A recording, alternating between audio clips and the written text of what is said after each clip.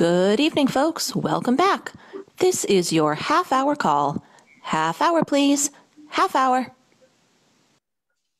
Hi, everybody. This is Curt Columbus, Artistic Director at Trinity Repertory Company, and I am here with you for your half hour call.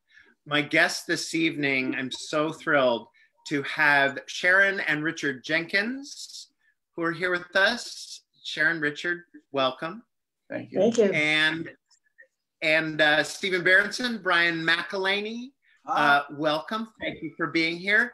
Uh, for those who don't know, Stephen and Brian are married. Richard and Sharon are married. We keep having married couples so I can get more people on a screen.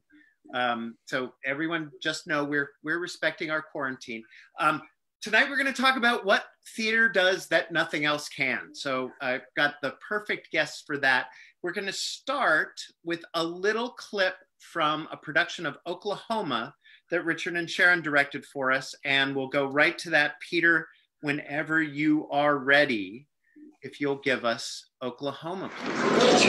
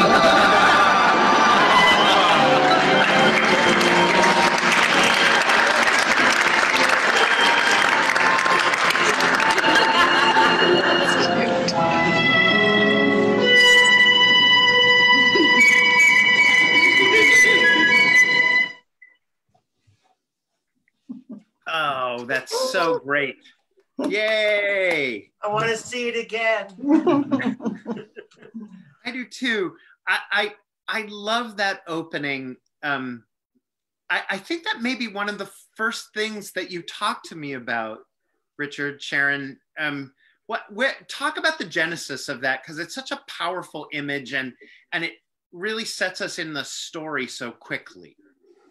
Well, the you know the the the stage direction saying Aunt Eller is going to be sitting on the stage with a butter churn and you know we knew that wasn't going to happen so uh, so you know i just wanted i want we wanted to set where we were in, right away. We wanted to set up this farm or this home or we knew that she was going to be working in some fashion and we didn't want to bring out any kind of a set piece or anything that she would have to carry.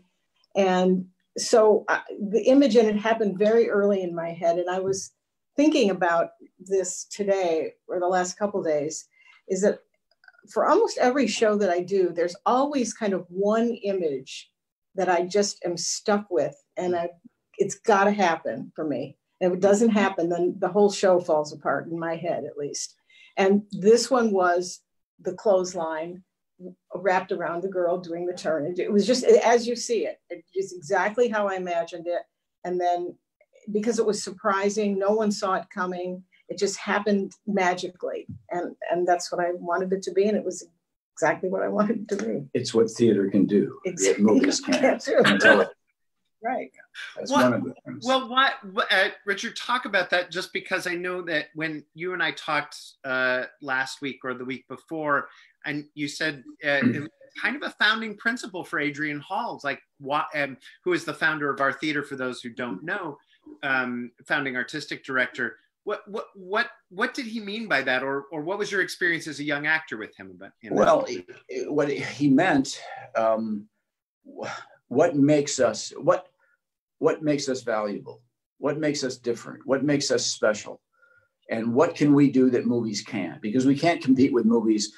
I mean, around the world in 80 days, you literally go around the world in 80 days. Um, you you can't you can't you know that they go to Rome, they shoot in Rome. Uh, so it's the actor and the audience. That's that's the basic thing that a live actor and a live audience. And he wanted to put the two as close as he could together. And, and Eugene too, they were, they were both of them felt that way. That's why in Oklahoma, because we have platforms around the uh, stage that Eugene just wanted to turn the lights on mm-hmm. and say we're all in the same room together.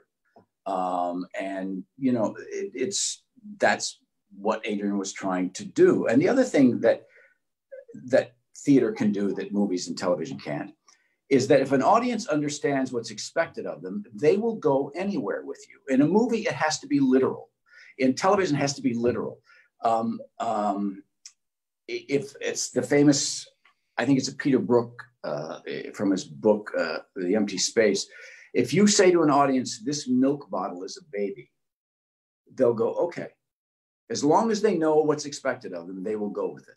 Mm-hmm. And so naturalism in the, in the way of, of scenery and all of that stuff was um, something Adrian and Eugene fought against for the longest time. There's a much more interesting way to do it, like that example you just gave that Sharon had the dress and the clothesline. It's how do you do this in a way that that is only possible in the theater yeah.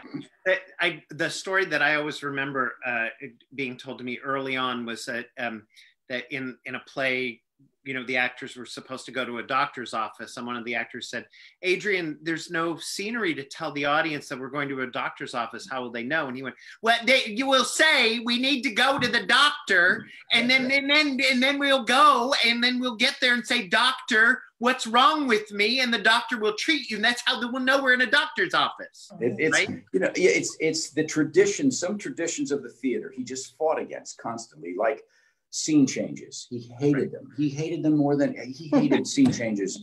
Uh, so and and because he said, you know, it, it, the play stops. Who are we kidding when we turn the lights off? We know what they're. We hear people bump on walls and glow tape everywhere. And he said, there's a got to be a better way to do this. To, if you want to change the environment you're in, how do you do it? How do you make it part of the piece? And that was, uh, you, you know, and and it's he discovered for me coming out of a, a college, it was incredible because it was. It, I was along with everybody else going, "Oh my God, the theater can do this," and we never do it. We never do it. It's always naturalism. It's always, you, you know, um, uh, pretending that there's really a door there, that there's really a, that, that, that, that there's there's really trees outside, you know, they have the, the windows with the, with the fake trees. I mean, it's just is, it's, you're competing on a level you can't compete with. You can't compete with it with film on that level. So why try? That was that's right. That's right. Um, so that I, I'm going to actually go right into our next clip, Peter. I think I'd like to go right to this um, brilliant production of The Grapes of Wrath that Brian McEleney directed, that Stephen Berenson was in um, and we'll just roll the clip.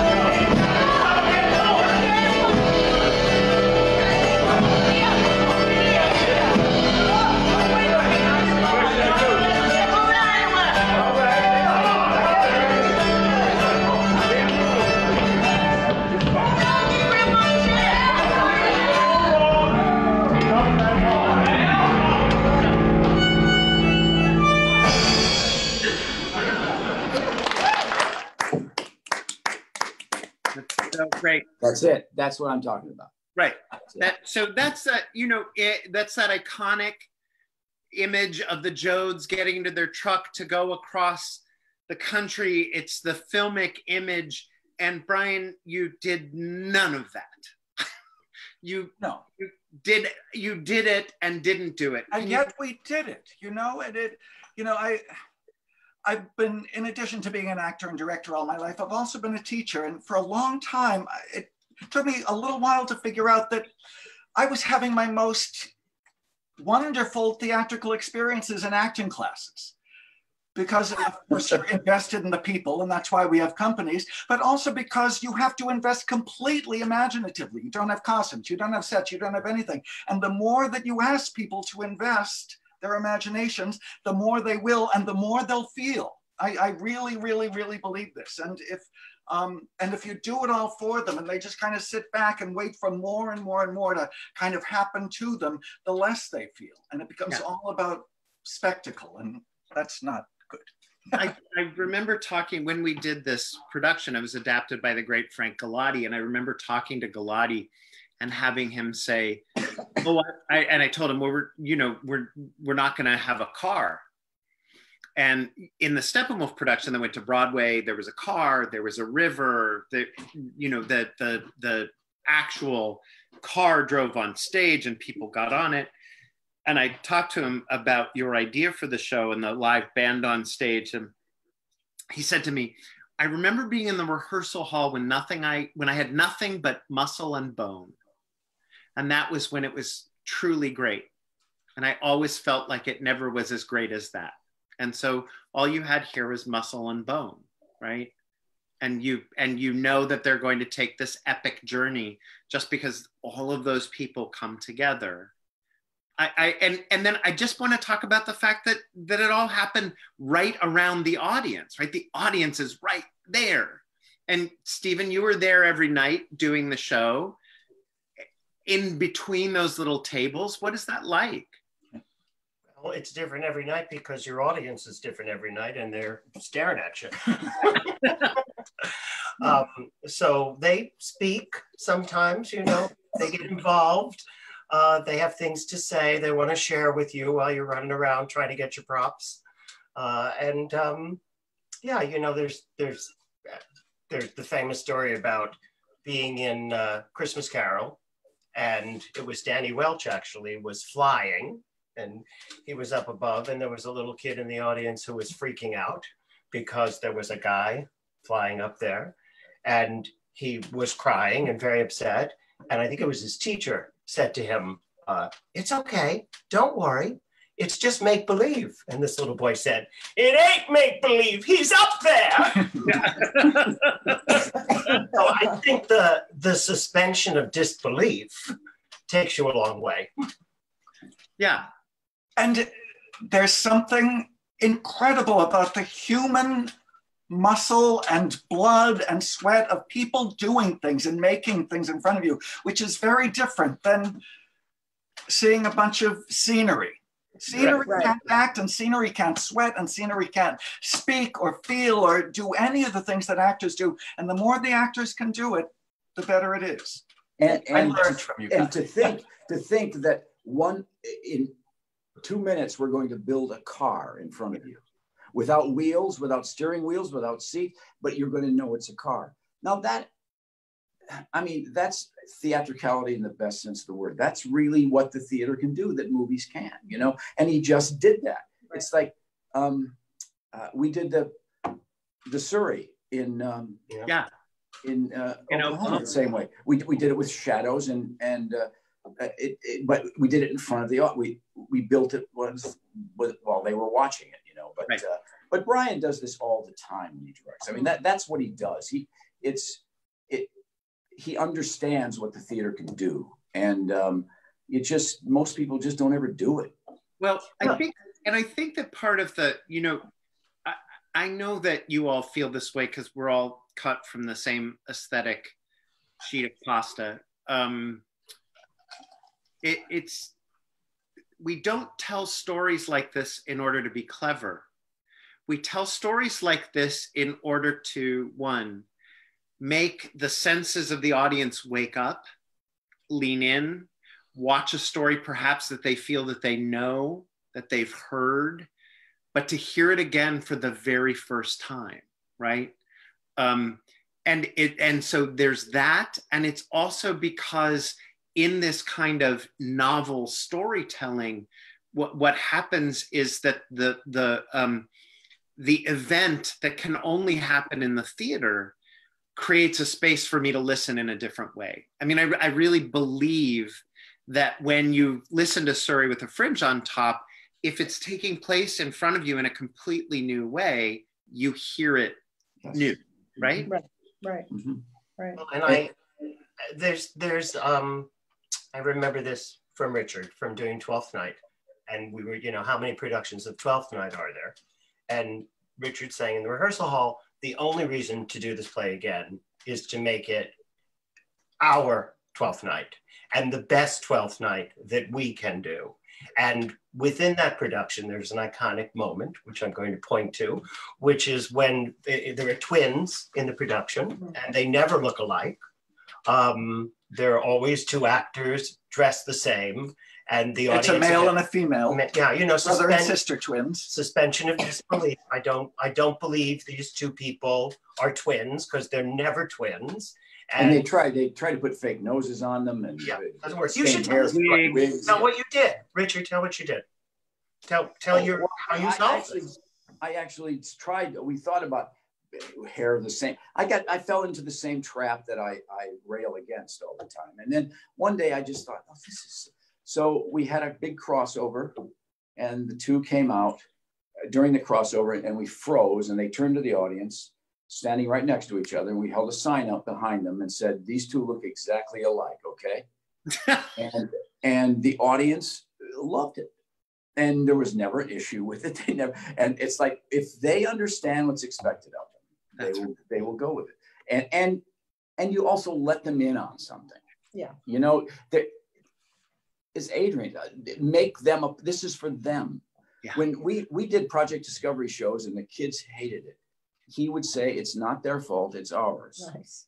And that's when he started to go out in the audience with cannons and ropes and you know it's like what he was saying to them we know you're there we want you to be a part of this uh, we're doing this for you this isn't a movie yeah and uh, i mean his aesthetic kind of grew out of those high school shows yeah. that were started off being just a nightmare.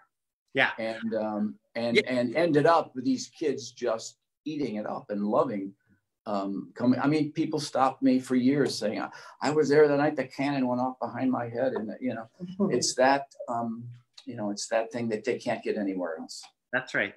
Um, hey, Peter, will you roll the, um, the uh, photos from Macbeth for us, please? This is from a production that Richard did uh, in the 90s. Um, and uh, these are some still photographs. Yeah, Tim Crowe. Tim. Annie Scurria. Annie Scurria. So beautiful. Mm-hmm. Um, David Jones. Ed Shea. Yep. Oh, Davy. How beautiful he looks. Davy, yeah, Ricardo. Ricardo. Yeah. Ricardo. And that's Brian writhing, I think. Mm-hmm. Yep, that's me and Phyllis. Yeah, that's you and Phyllis. That's right. Yes, yes. Brian with Brian's breasts.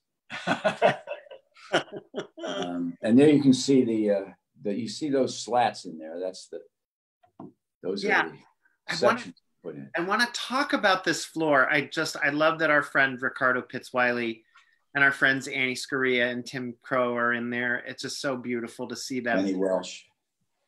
Will you, Richard? You you said the floor had held meaning for you, even if it didn't hold specific well, meaning for everyone. But I, I had forgotten what, what the meaning was. It's been so long ago. But Brian reminded me just now. And what was it, Brian? That the line that the witches say the earth has bubbles in it. Earth has bubbles in it. And so about halfway through, I don't know, it was a long time into rehearsal. They were building the set already. And I said, can we get the floor to move?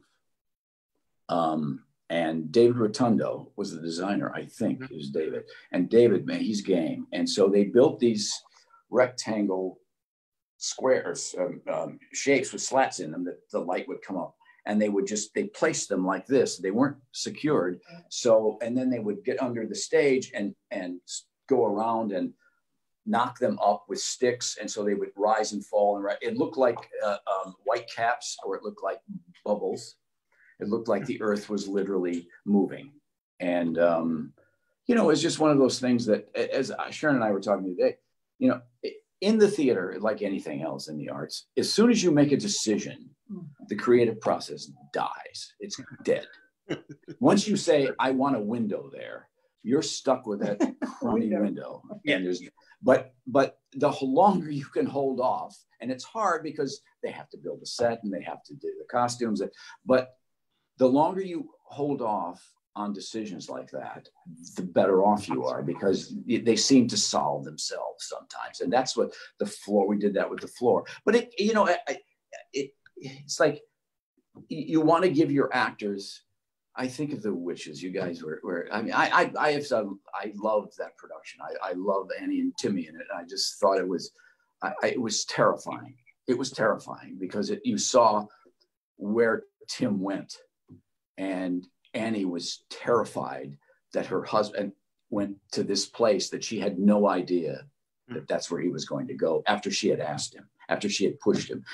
So it was just really cool. And um, um, and I am 73 and I don't remember what I'm talking about. What, what was my I, I You're talking about the way the floor moved, and I, oh, yeah. again, I think you oh, know. No, is, oh, and and the the other thing, just a quick thing. Um, uh, scene changes. We had a table. Uh, I think we, we saw it was the huge table, and it left, and you had to. T- we got eight actors picking it up and walking off, it which is like you know counted to 20, 30, a minute and a half, two minutes. It's like what? So we built a. Um, um, we built like a, a trap door underneath the the uh, table, and I think the witches danced around the table, if I'm not, and did something oh, like this. Yep. Yeah, and, and the trap door opened, and this table, which was huge, just crashed to the, down below. And uh, so it became part of the piece. It wasn't a scene change. It was part of this world that we created. So I that, like that. no, I I, lo- I love talking about this, and I want to segue us um, to talking about how with this idea how nothing is a separate element in a Trinity Rep show, right? Music, choreography, uh, acting, it's all happening together. Um, I want to stop for a second though and say, we're going to take questions after we show a couple more clips and have a little bit more conversation. So anyone who's watching, you can ask your questions in the comment section of Facebook Live and they'll get to us. Um, we thank you for watching. Um, we'll get to as many as we can get to. Uh, so I remember, um, Sharon, when you and Stephen Berenson and I were doing Merchant of Venice together. Mm-hmm. Um, and, I, and someone said to me, Why do you have a choreographer for Merchant of Venice? And I said, Because Sharon's one of the greatest theatrical thinkers that I know. And I, yes. I think all four of us would agree that you are truly one of the great theatrical thinkers. I, I have to agree. she is though. She she actually uh, she is. She is. And part of it is because your choreography is not distinct from um, the urge to tell the story with the acting, with um, with the the bodies in space. Um, it's not a separate element, right? I want to play well, a clip yeah. um, from Oliver, but what were you going to say? Well, I, I, I have always, I, I, it, you know, I can watch an old musical and I can watch, uh, you know, a movie musical and I, I can get when they just break into a song. I just found it very hard to always do that in the theater. For me, it has to come from a very human place. Yeah. I, it just has to come from the event and the people and it has to be right for them. It can't just be something I put on it. I mean, even though I do kind of put it, you know, but I try to take it from where it's where it's coming from. She has actually said in rehearsals, I don't, th- okay, Sharon, you go ahead and do this number. She says, I don't think they're ready to dance yet. Yeah. Yeah.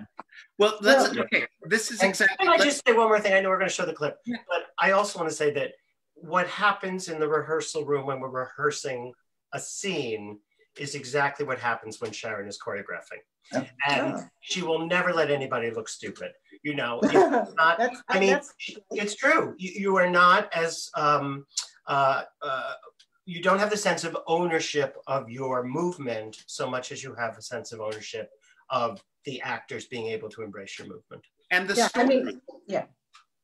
Thank you. Yeah. Um, Peter, let's play this clip from Oliver because it's Stephen Berenson, unrecognizable actually, as Fagin. Oh, another glamour role. Yeah. Yeah. So here we go.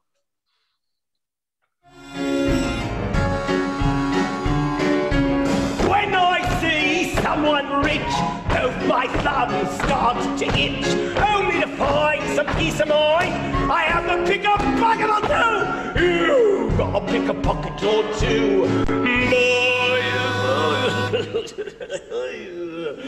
You've got to pick a pocket or two. Just to find some peace of mind, you have to pick a bucket or two. Let's show Oliver how it's done, my dears. Dear old gent passing by, something nice takes his eye. Everything's clear, attack for rear, advance and pick a pocket or two. You've got to pick a pocket or two. Boys.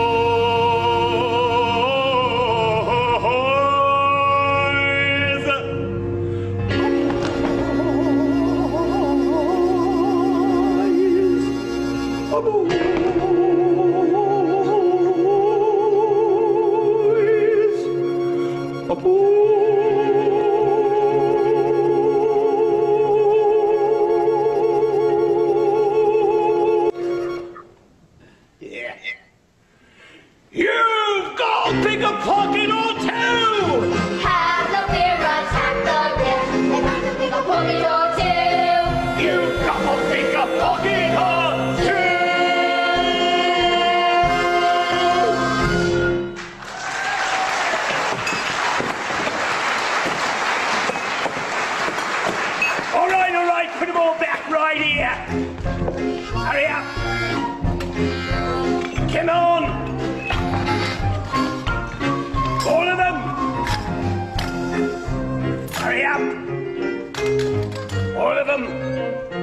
Said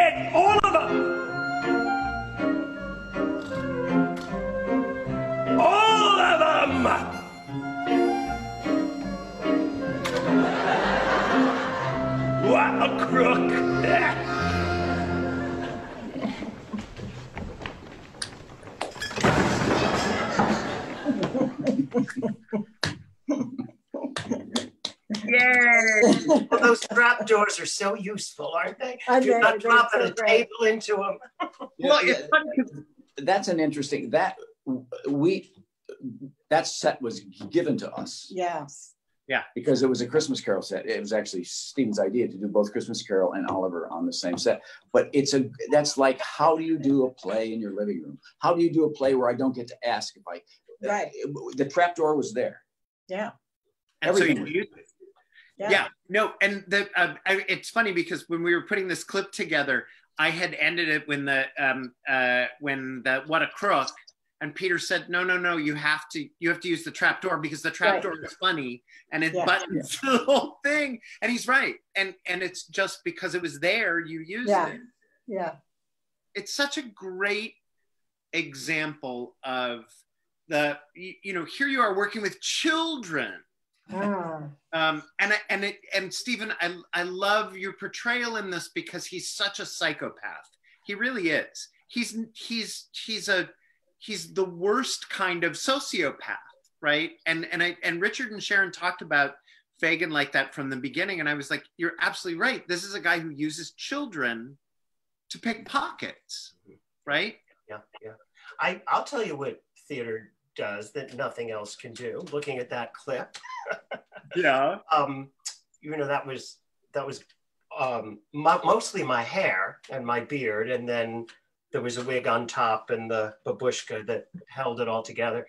And we were doing that song one night, and um, and Noah Parrots, who played Dodger, was suddenly next to me as we were going through the scene, and I couldn't understand. But everywhere I moved, Noah moved with me. And I looked over at him finally, and there was abject terror in his face. and I realized that as he had been picking my pocket, his sleeve button had gotten caught in my wig, Uh, and he couldn't get it out. And uh, his one hand, he was trying to get it out. So I thought, oh, I, I, I'll take care. I'm a professional. I can do this. So I, I tried to get it out, and I couldn't get it out. And I'm pulling on it, and you know, I'm looking like Mae West or Veronica Lake, trying to, um, and uh, and then I thought, well, I just have to rip it. And so I tried to rip it, and I couldn't get it out, and I ripped it. I ripped it, and finally it ripped. And the wig kind of fell over in front of my face, like like I was a pirate or something. I, I couldn't see out of one eye. And I sort of pushed the whole thing back and just hoped it would stay for the next half hour till I got off stage. And you were both there that night. I remember that. So, and and you both came backstage and I and I Richard came to my dressing room and I said, um, how was pick a pocket or two? Did you notice anything? How did I look? Richard said, like a deer in the headlights. and, and so, you know, what can theater do that it can really mess you up? There are no retakes, and you are in that moment dealing with whatever you're dealing with, and um, and hoping that you can get through it. I, you know, those kids, those kids were They were so fantastic. so fantastic. All I don't think kids. I don't think I've ever worked with a group of kids that was that serious and that um, focused. And they were not any older than other groups of kids that we've used for other shows. Right. But and they were there was maybe three of them or two of them, two two of the girls who actually had dance training. Um, the others, especially the other two young men, didn't but Noah, who played Dodger, was invaluable there. He really kind of set the tone, even though he was older than the others, and although he was smaller, so he didn't look bad. But he was um, very kind to them and very, um, but he, just by example, they just kind of fell in line, and they were they just wanted to They do were it. amazing They wanted to be good. well, and, I think Noah had just done the tour of Billy Elliot, right? Yes, yes, and your Oliver was yes. I mean, we got so lucky I mean, with yeah. those two I mean, what do you do if you, uh, hot, it, I mean, just amazing the children we had. And- Yeah. And Oliver, he was amazing. Yeah. I, I just remember going. uh, You you were rehearsing one day, and um, uh, going upstairs, and he's sitting there eating his little snack, and just winded because he's been dancing for an hour. And I said, "You doing okay, bud?" And he's like, "I'm fine." I went, "Wow, all right."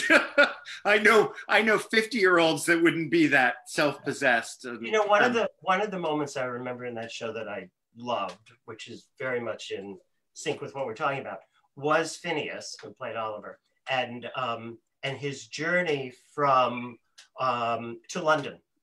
Do you remember this? Mhm, And Stephen Thorne stood there with a sign that said "To London," mhm. and Phineas just walked, and then two members of the cast came with kind of a big rubber belt, and Phineas walked into it. And they held him back and moved around so that he was walking in different directions. And then I- can't remember, maybe it was Stephen had leaves and threw leaves Yeah. up in the air. Yeah. And you know, and the sign kept changing direction until finally it pointed to the steps downstage Yeah. center, and Phineas sat down on the steps Right. and that journey was so inventive and so entertaining and such great storytelling. So thank you, Sharon. Uh, thank Yeah. you. Such great storytelling.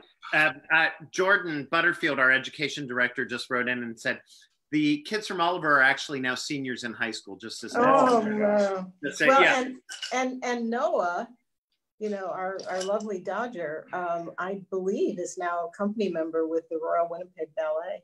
Uh, Oh, great. And He's really wonderful dancer. So we have dozens of questions and I want to get to them. I want to play one more clip though, which is from our production that closed right at the beginning of all of this, A Tale of Two Cities. And I want to play the last little bit, Peter, if you'd do that for me. This is from A Tale of Two Cities, final moment. Is the moment's come? Keep your eyes upon me. Look upon no other object. I shall mind nothing. They will be rapid. Fear not. I am the resurrection and the life, saith the Lord. He who believeth in me, though he were dead, yet shall he live. And whomsoever liveth and believeth in me will never die. I see the lives for which I lay down my life, peaceful, useful, prosperous, and happy in that England which I shall see no more. I see her, with her child upon her bosom, safe and without fear. I see her father, aged and bent, but otherwise restored and at peace. I see Mr. Lorry, so long their friend, in ten years' time passing tranquilly to his reward. I see her an old woman, weeping for me on the anniversary of this day. I see her and her husband, their course done, lying side by side in their last earthly bed, knowing that I was in the souls of both. I see that child who lay upon her bosom grown into a woman, bringing her own son, a boy of my name, to this place. And I hear her tell that child my story. It was the best of times. It was the worst of times. It was the age of wisdom. It was the age of foolishness. About the city that night, they said of him that it was the peacefulest man's face ever beheld there. Many added that he looked sublime and prophetic. Well,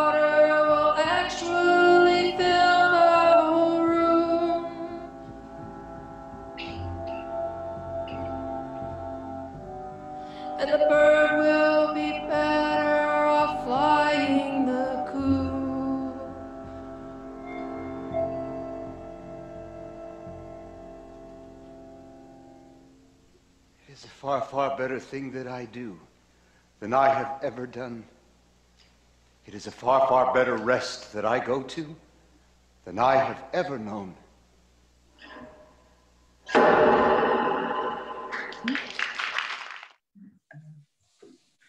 So great. That's Danny Duque Estrada, our newest company member. Um, and it, it, it just, it's related, Stephen, to the thing that you were just talking about. I mean, years go by. You, you're no longer in Paris, you're in London. The sweep of the thing, time passes, and you have a guillotine made out of a paper cutter and people standing on tables. And, you know, Brian, that was your adaptation. I mean, i- i- i- it's, it's all part of this lineage, right? Oh, yes, I didn't make any of this up. I learned all of this from Adrian and Dick and from being a member of this company for 30 some years. um, and we've learned how to do this. We've learned how actors can tell stories um, and tell it simply and directly and fully and um, imaginatively and not depend on anything but what we have at hand in the space with the audience. It's funny. Uh, this one of the, that you just answered. One of the questions was wondering if you feel like Adrian's iconic style and legacy as Trinity's first artistic director informed all of your various directing styles and does it still today? And it does, right? That lineage. Absolutely. Absolutely. I mean, uh, w- there were things that I didn't like that I changed, and there are things that people work with me don't like that they changed. But yes, the the idea, and and I have to put Eugene in this too, because Eugene really was. He, he you needed some Eugene. You know, it was this was the time of Peter Brook and Jerzy Grotowski, and and the theater was looking away from um, prosceniums and and um, not saying that I don't love a good proscenium because I do, but um, th- this is where we were going in, in regional theater in, in Providence, and Uh, um, he he was Adrian was just an enormous um, influence on me as a director. Yeah. Yeah. And and and you're absolutely right to point at uh, Eugene and his uh, just lasting influence. I mean, Oh, yeah. uh, Yeah. all of my greatest work is with Eugene. I I think of that. Right. Too. You know, we we have all kinds of uh, great work together. Um, Stephen, uh, Pam Erskine um, wrote and asked, "Does the Fagin role rank among your favorites because you were fabulous?" That's very sweet. Thank you, Richard and Sharon, for making me fabulous. um, and Tom Jones, actually, for helping me with my voice. Um, yes, it certainly it does. Um, you know, Brian directed me in Death of a Salesman, and that was a favorite. And Curt, you directed me in Merchant of Venice, and that was a favorite. So I look, no, I, I've and and Sharon and I worked together on Cabaret. So Mhm. um, I'm I'm lucky. I get to work with a lot of great directors and some very good parts. Uh, but yes, that was a favorite. Uh, I was supposed to play it in high school, and then they switched over to Camelot, and Ah. so it lived in my past somehow. Um, so uh, th- there's um, a question. Uh, is there a play you have acted in or directed that reminds you in any way of the feeling experiences we are currently in the midst of from Kathy Hickman? Well, that's a really good question. Waiting for Godot. I, I, you, could- yeah, you could change the last word to vaccine, and um, that's kind of what we're waiting for. Um, I don't. I, I, this is new territory for me. For all of us, I think. Yeah. yeah. I mean, you'll really, you'll look. I, I was having this conversation with Stephen and, and with Curt a couple of weeks ago. Everything seems like it should be done right now. I mean, I think of A Tale of Two Cities, which we just finished, and it was something, and it was for the time it was done. But a play about actually being in history, in a cataclysmic moment in history, and you don't know where it's going, and you don't know how it's going to end, and you don't know who's going to win and who's going to lose. And that's what being in history is. And that's what Tale of Two Cities was. I wish I could do it again because it, I mean, all of those people in that world have that same feeling. Something incredible is happening, and we don't know what it's going to be like on the other side. And Ka- Kathy, this this isn't one we have done, but um, you know, we're we're going to do when we get back in that building. God damn it, we're going to do uh, the Diary of Anne Frank. And Brian and I have been talking about this, and I've been reading it.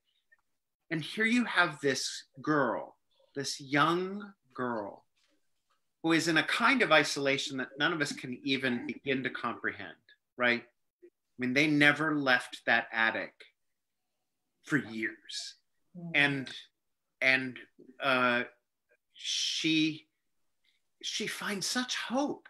It's it's astonishing right? You read you go back and you read the text of that and there's so much hope and joy and possibility. She doesn't ever let it diminish her. I i, I so i've been thinking about that one Yeah, she's. I mean, she does what we all. We were having this conversation just yesterday. She she lives in the moment. She says, "This is my life now, mm-hmm. and I have to live it. And this is our life now. And we can't think, you know, oh, I wish I were back in the before times, or I'll really be living when this is over. This is Right. our lives, and this Yeah. is what we have. So we got to find a way to live in it all the time. Yeah. Yeah.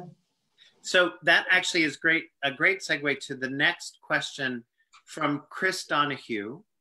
My question to all would be this Isn't it true that live theater can really only do what life itself does? That is to say, things happen that we cannot expect in a performance any more than we can sometimes in life. And it allows us to learn new things because we have to imagine another person's experience and develop empathy along the way. We witness theater as a group as we do our own lives in society. Wow. That's a really good one. That's a lot. A Yeah. lot. It has a lot to do with the power of acting. What does it do? Yeah. What does it mean to actually step into somebody else's shoes and live their life? And what is it to ask an audience to step into somebody's shoes and live their life? I mean, it's a very powerful thing that Theater But- movies do it too, but acting does it.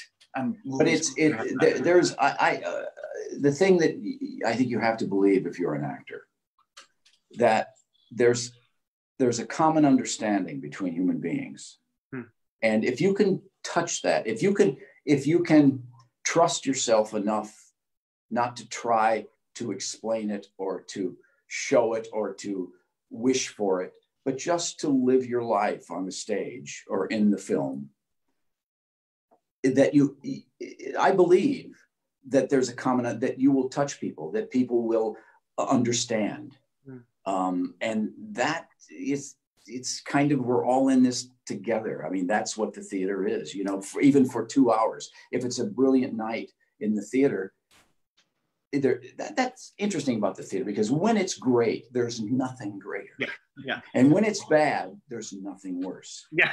Uh, I, maybe I shouldn't be saying, but but you know, I, people, it's- hard to get people who leave the theater to come back. Movies, you can see eight crappy movies in a row, and it's like, yeah, I'll go again.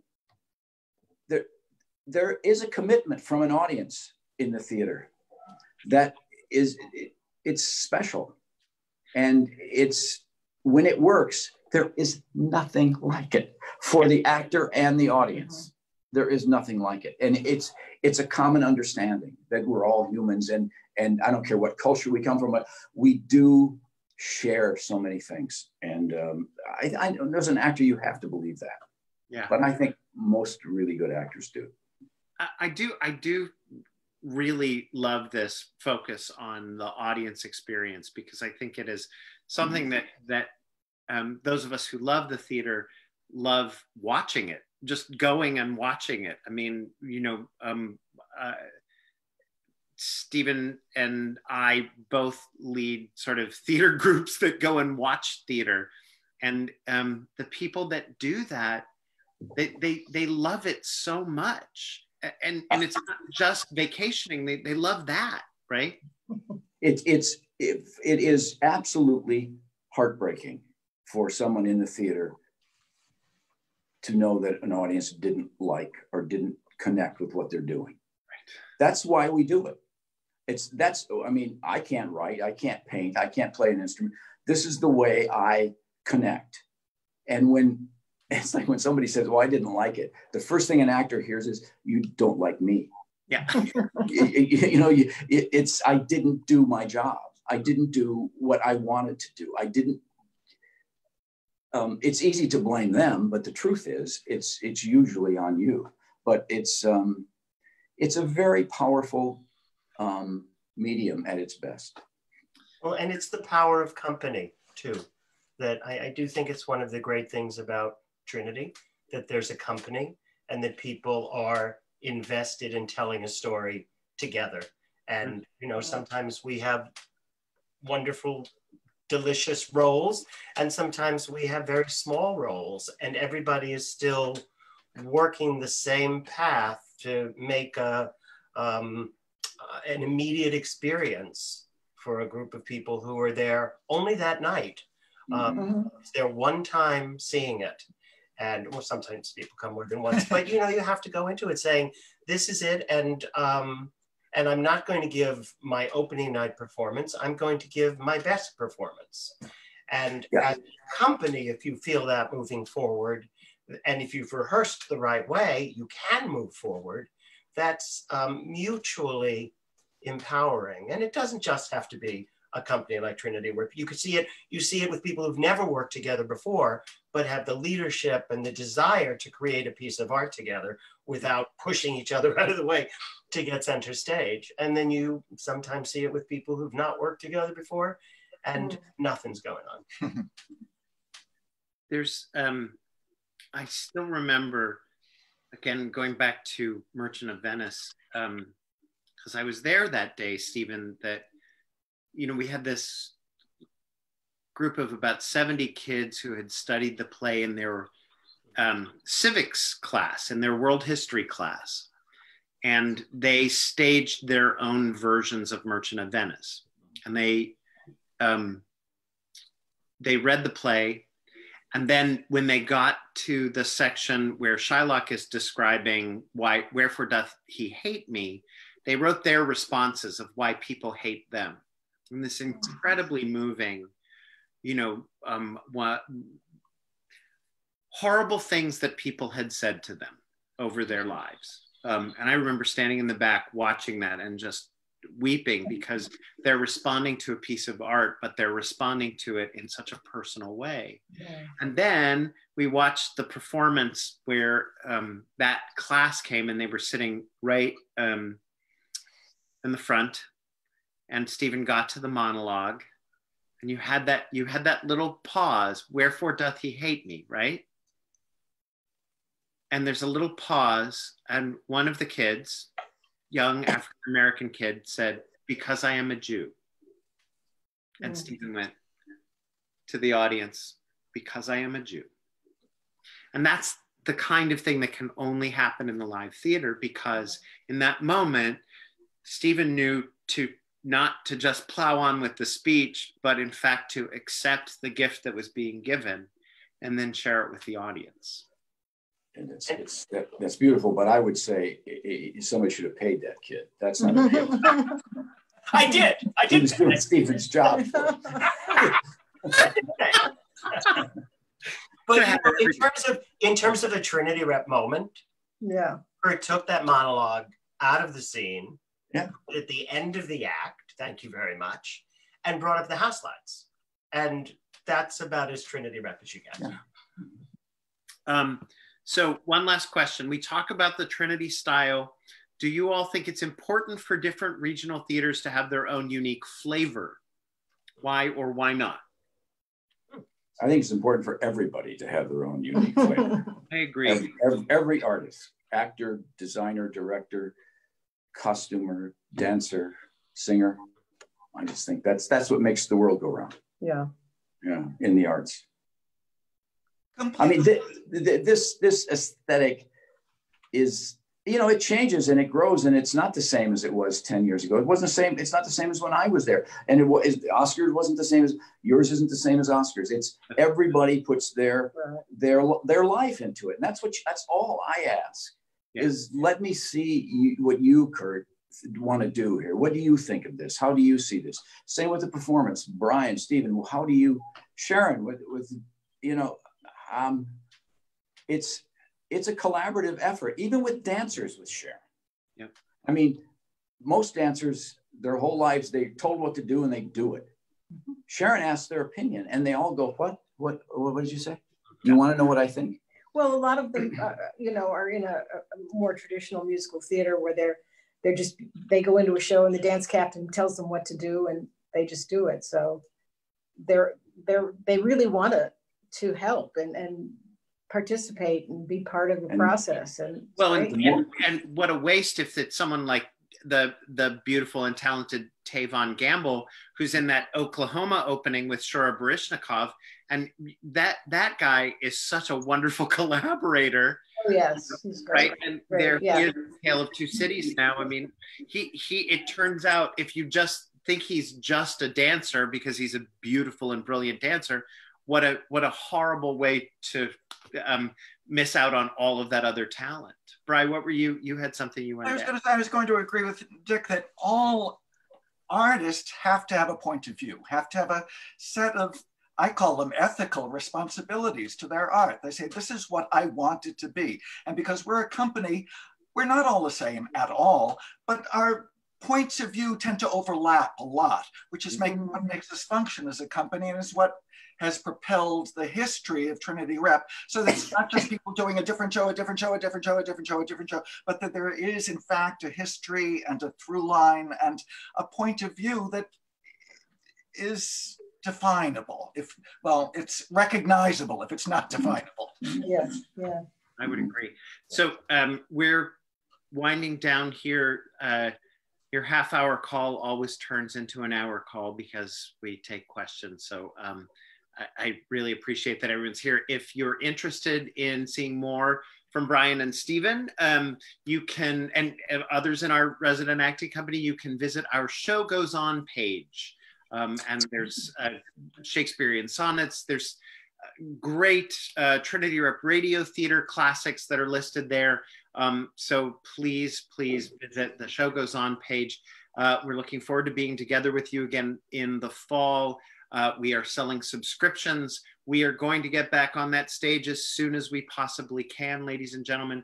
Um, uh, you know, there's a recording of this episode uh, and other stuff online, um, but there will be nothing like the live experience. Um, I do want to say our donors have been amazing over the last couple of months. Um, they've kept our staff Great. fed and whole, and it's been really incredible. There's going to be a little donation button at the end of this. Um, follow that link, it's on our page as well. Um, if you'd like to keep supporting Trinity Rep and keep us going. Um, we're also offering online classes all through the summer. The June classes are now enrolling. So check out the webpage for that. And next week on your half hour call, we're going to be talking about new plays and new playwriting. Um, we'll have George Brant with us, the author of The Prince of Providence, um, and uh, several other plays at Trinity Rep. Lauren Yee is going to join us, and the director Taibi Magar, and our director of new play development, Tyler Dobrowsky. Um, so to wrap us up, we're going to play just the most lovely little clip from our company member, Mia Ellis, to talk about a moment in the live theater. Peter, whenever you're ready, roll that clip. Thanks for being here. Hi everyone, I'm Mia Ellis and I've been a company member for seven years and my behind the scenes story happened during To Kill a Mockingbird where I shared a dressing room with Rebecca Gibel, aka Becky. Um, so normally during a show, I wait until about five minutes until the start of the show before I put my costume on. It's just easier that way. Um, I usually have my hair and makeup done, and my costume is the last thing. So on this particular day, I was coming back from the bathroom and went to open the dressing room door. It's five till the start of the show, and I can't get the door open. I try again, and the door still won't open. Now, I know I've not had any problems with this door before, and I know I know how to open a door, so I try a third time, and the door still doesn't open. And at that point, Becky realizes something is wrong, and she comes over to the door, and I tell her that the door is stuck and that she's got to try it from inside the dressing room to open it. And she tries, and the dressing room door still doesn't open. At that point, everyone realizes something is wrong. Stage management comes over. They try to open the door, and the door still won't open.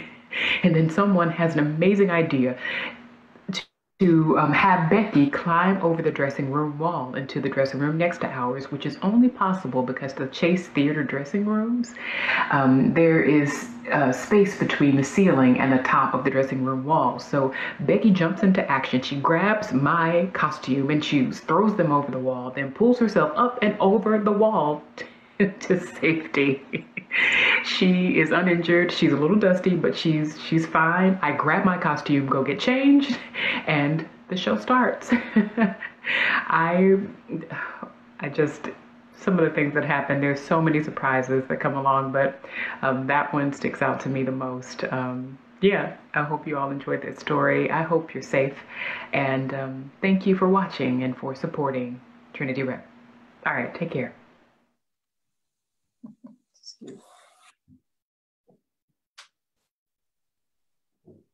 Can leave, I guess. Mm-hmm. Thank you, everyone. Good show. That is it for this week. We are back again next week at the same time. Once again, we are back here next Thursday evening for a 7:30 p.m. half hour. Thank you so much. Have a great night and a great week.